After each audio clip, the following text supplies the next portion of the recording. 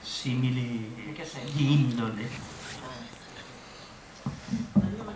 È vero, cioè che mh, rispetto a Morgan, perché poi uno appunto eh, sta su questo set, ci sono loro tre, però in effetti c'è un regista, io mi sono veramente sentita diretta in questo film, cioè ho fatto un personaggio, una cosa piccola, però avevo, ho avuto proprio la sensazione eh, di, che lui avesse, che Morgan avesse in mano eh, le redini di tutto questo circo che girava intorno. E comunque anche questo è sorprendente così come è sorprendente che loro si eh, si compensino e vadano d'accordo.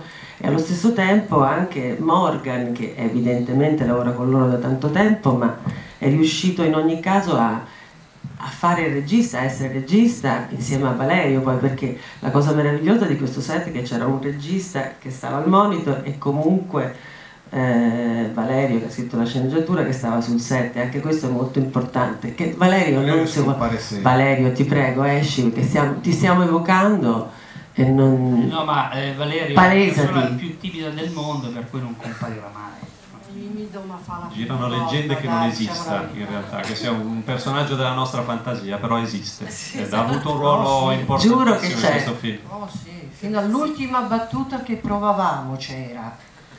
Se vedete un tatuaggio che cammina è lui. Eh, Salve, qui